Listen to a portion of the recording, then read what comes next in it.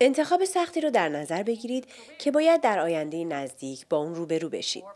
این انتخاب ممکنه بین دو شغل باشه، موسیقی و حسابداری، یا محل زندگی، شهر و روستا. یا حتی بین دو نفر به عنوان همسر آینده، بیتا و لیلا.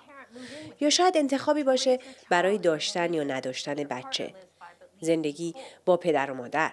یا اینکه همه پسندازتون رو به خیریه ها بدید یا نه. احتمالا به نظر شما انتخاب سخت انتخاب بزرگیه. به همین خاطر در این مواقع دست و دل آدم میلرزه، زجر می‌کشه و لبش رو میگزه. اما به نظر من هنوز درک درستی از انتخابهای سخت و نقش اونها در زندگیمون نداریم. فهمیدن انتخابهای سخت قدرت نهفته در هر کدوم از ما رو آشکار می‌کنه. چیزی که انتخابی رو سخت می‌کنه نحوه ارتباط گزینه هاست. در انتخابهای آسون یکی از گزینه ها بهتر از بقیه است. در انتخاب سخت گزینه اول از جهاتی بهتره و گزینه دوم از جهات دیگه و در مجموع هیچ کدوم بهتر از اون یکی نیست. اگه بر سر اینکه در شهر و همون شغلی که دارید باقی بمونید یا اینکه زندگیتون رو بردارید و به روستا برید با خودتون کلنجار میرید به خاطر اینه که موندن از جهاتی بهتره و رفتن از جهاتی دیگر و هیچ کدوم در مجموع بهتر از گزینه دیگه نیست. نباید فکر کنیم که همه انتخاب های سخت بزرگند. مثلا می‌خواین تصمیم بگیریم برای صبحونه چی بخورید. می‌تونین نون سبوسدار بخورین یا کیک شکلاتی. فرض کنیم نکته مهم در این انتخاب طعم و سالم بودن باشه. نون سبوسدار برای شما بهتره و کیک خیلی خوشمزه تر. اما در مجموع هیچ کدوم بهتر از اون یکی نیست. فهمیدن اینکه حتی انتخاب های کوچیک هم می‌تونه سخت باشه و با این همه ما بالاخره می‌تونیم تصمیم بگیریم برای صبحونه چی بخوریم این امیدواری رو به ما میده که بتونیم در مورد موندن در شهر یا روستا هم تصمیم بگیریم.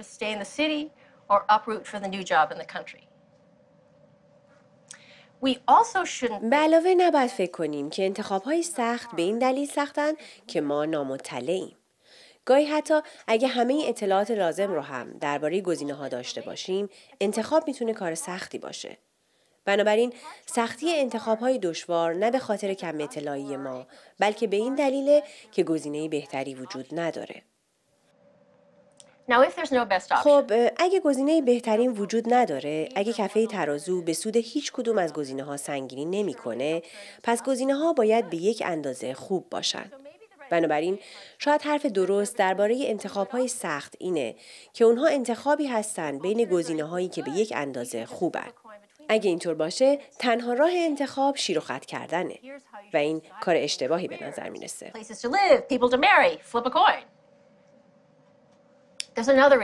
اما برای این حرف که انتخاب های سخت انتخابی از بین گزینه های به یک اندازه خوب نیستند دلیل دیگری هم هست.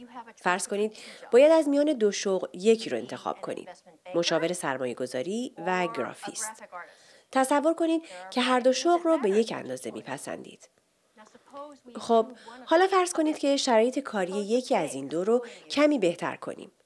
مثلا بانکی که قصد استخدام شما رو داره 500 دلار به حقوق ماهیانه شما اضافه کنه. آیا این اضافه حقوق کار سرمایه گذاری رو بهتر از کار هنری می‌کنه؟ لزوما نه. اضافه حقوق کار سرمایه گذاری رو از قبلش بهتر می‌کنه. اما شاید اونقدر کافی نباشه تا اون رو بهتر از گرافیست بودن کنه.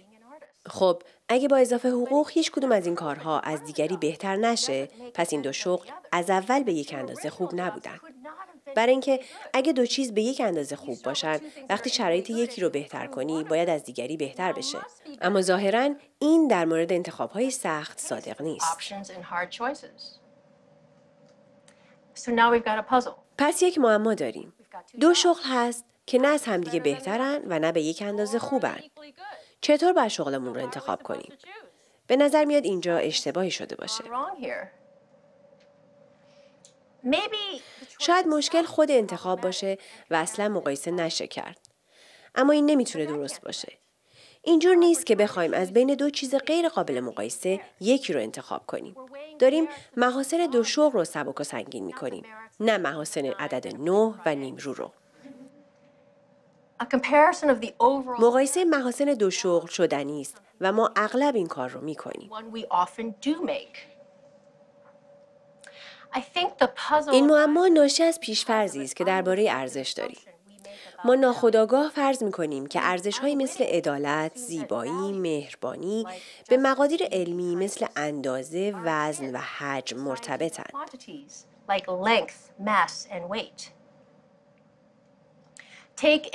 قیاسی رو در نظر بگیرید که شامل این ارزش ها نباشه. مثلا کدوم یک از این دو چمدون سنگین تره؟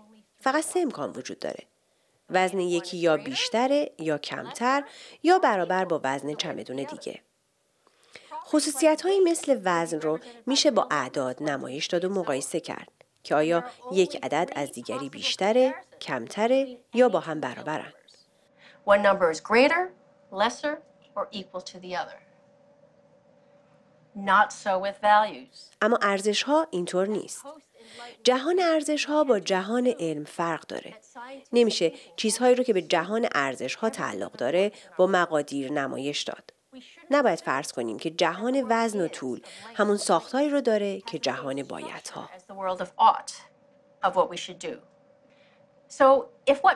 خب پس اگه نمیشه چیزهایی رو که برای ما مهم هستند مثل عشق به همسر با اعداد نشون داد دلیل نداره فکر کنیم که در انتخاب ها فقط سه امکان هست بهتر بدتر یا برابر بودن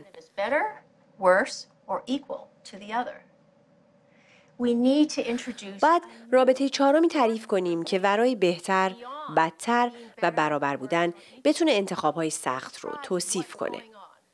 من به این رابطه چهارم هم ارز بودن میگم. وقتی گزینه ها هم ارزند شاید مهم باشه که کدوم رو انتخاب کنید. اما هیچ گزینه بهتر از دیگری نیست. هر کدوم از اونها ارزش رو منعکس می‌کنه. ارزشی متفاوت که همین انتخاب رو سخت می‌کنه.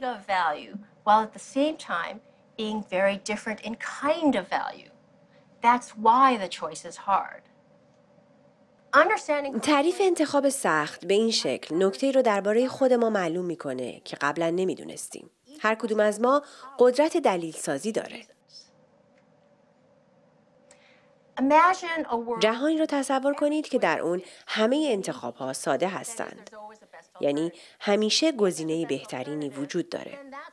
در این صورت ما بهترین گزینه را انتخاب می کنیم. چون اقلانیت حکم می‌کنه که بهتر رو به بدتر ترجیح بدیم. در چنین جهانی احتمالا دلایل محکمتری داریم که جوراب سیاه بپوشیم نه صورتی. نون سبوستار بخوریم نه کیک شکلاتی و در شهر زندگی کنیم نه در روستا. نتیجه اینکه جهانی که مملو از انتخابهای ساده باشه ما رو بنده دلایل می‌کنه. When you think about it, it's nuts. فکرش رو که بکنید این دیوونه کننده است که دلایل موجود به شما دیکته کرده باشه که همون تفریحاتی رو داشته باشید که دارید. در همون خونه زندگی کنید که می کنید و شغلی رو داشته باشید که دارید. To live in the exact house you do. To work at the exact job you do. به جای اون با گزینه هایی روبرو شدید که هم ارز بودن.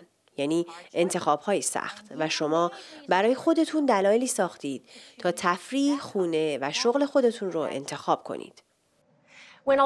وقتی گزینه ها هم ارزن، دلایل موجود که تعیین می‌کنه آیا داریم اشتباه می‌کنیم یا نه، درباره اینکه چه بکنیم چیزی برای گفتن ندارن. در اینجاست در فضای انتخاب های سخت که ما می‌تونیم اختیار خودمون رو اعمال کنیم. یعنی قدرت ساختن دلایلی برای خودمون.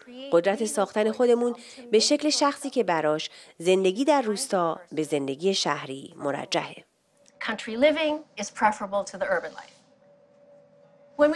وقتی که از بین گزینه های هم ارز یک رو انتخاب می کنیم می‌تونیم کار واقعا قابل ملاحظه بکنیم.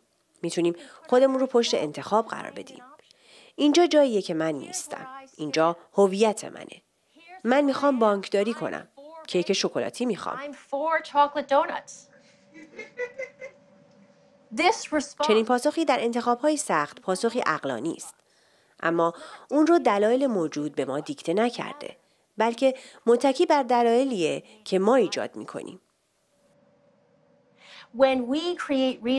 وقتی برای خودمون دلیل می‌سازیم با دل و جون به آدمهایی که هستیم تبدیل میشیم.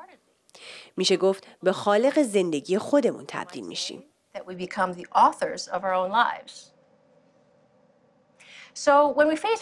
بنابراین وقتی با انتخاب های سخت روبرو میشیم نباید سر خودمون رو به دیوار بکوبیم تا بفهمیم کدوم گزینه بهتره. گزینه بهتر وجود نداره. به جای اینکه در بیرون دنبال دلیل بگردیم باید سراغش رو در خودمون بگیریم. می‌خوام چه جور آدمی باشم؟ شاید تصمیم بگیرید جوراب صورتی بپوشید. نون سبوسدار بخورید. در روستا زندگی کنید یا هر انتخاب دیگه ای. تصمیم ما در انتخاب های سخت تا مقدار زیادی به خود ما بستگی داره. What we do in hard choices is very much up to each of us. جدا از دلهور آور بودن، انتخاب های سخت موقعیت های گرانبهایی برای ما هستند تا چیزی رو که خاص شرایط انسانیه گرامی بداریم. یعنی قوه دلیلسازی در فضای انتخاب های سخت تا تبدیل به آدم های متمایزی بشیم که هستیم. و به همین دلایل دلایل سخت نعمتند نه نقمت. To become the distinctive people that we are.